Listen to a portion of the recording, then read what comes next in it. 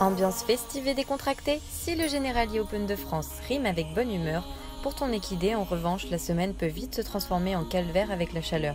Sais-tu que pour un cheval non tendu, la température idéale se situe entre 5 et 25 degrés? Au-delà, ton poney commence à souffrir de la chaleur même au repos. Alors pour limiter les risques, voilà quelques conseils pour appréhender au mieux les fortes températures et profiter des championnats en toute sérénité. Pour soulager ton poney au box et l'aider à surmonter au mieux les fortes températures, il existe plusieurs techniques. Ma préférée, mouiller des morceaux de drap prédécoupés que l'on attache au-dessus des box. Ça permet de créer un peu d'ombre et de rafraîchir l'air qui devient vite étouffant dans les allées des écuries. Autre geste simple, n'hésite pas à rafraîchir ton équidé même si tu ne le montes pas et qu'il n'est pas à l'effort. Avec une éponge mouillée, tu peux ainsi rafraîchir les zones de chaleur comme le poitrail, les cuisses ou les membres. S'il y a une majorité de côtés sympas au championnat de France, c'est aussi beaucoup d'attente. Avant d'entrer en piste ou d'aller au paddock pour attaquer ta détente, n'hésite pas à patienter à l'ombre d'un arbre pour préserver ton cheval et toi aussi par la même occasion. Après un gros effort, en sortant de ton épreuve, demande à un accompagnateur d'apporter une serviette mouillée.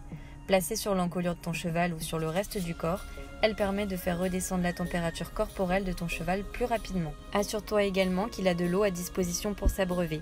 Que ce soit au box ou entre deux épreuves, ton poney a besoin de boire en grande quantité pour compenser la perte de minéraux lorsqu'il transpire abondamment. L'hydratation est donc très importante. Autre étape indispensable à la mode, la douche. Commence par les membres de ton cheval avant de remonter progressivement sur le corps et l'encolure. N'oublie pas le couteau de chaleur à la fin de la douche pour éviter les coups de chaud.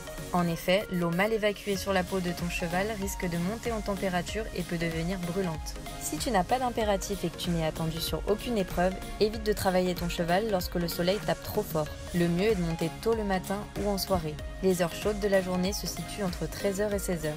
N'oublie pas d'adapter le travail et de faire régulièrement des pauses. Rien de tel que de travailler au frais en forêt, en plus c'est parfait pour le moral de ton poney. Alors fini le stress et les coups de soleil, maintenant tu as toutes les clés pour profiter pleinement et sereinement des championnats.